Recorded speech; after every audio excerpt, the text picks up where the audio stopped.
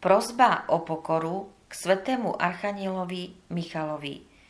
Svetý Michal, archaniel, premožiteľ satana, ducha pýchy, pomôž mi prekonať môj egoizmus, ktorý sa nechce podrobiť Bohu a jeho svetej vôli.